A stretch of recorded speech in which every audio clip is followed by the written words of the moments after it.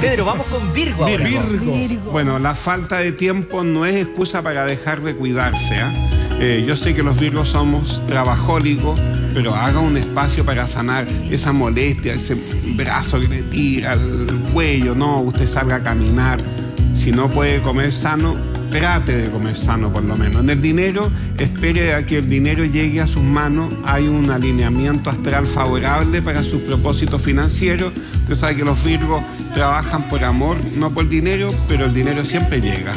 Y en el amor puede que ciertos momentos no se sienta apoyado por quien ama, pero finalmente verá en silencio que sigue siendo su soporte. A veces los virus tenemos una tendencia a sentirnos solos y que no nos apoyan, pero después con el tiempo igual eso sirve porque uno también se puede abrazar a sí mismo. Qué buena música, me encanta. Muy buena.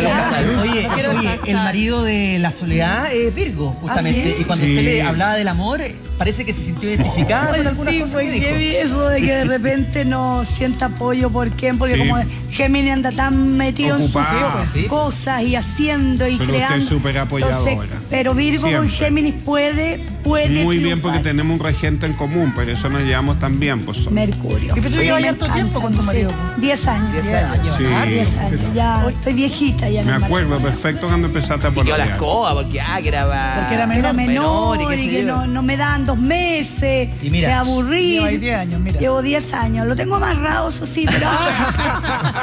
A la vuelta a la casa. No necesitas amarrarlo. Con tu encanto basta. Hasta la hora. güey.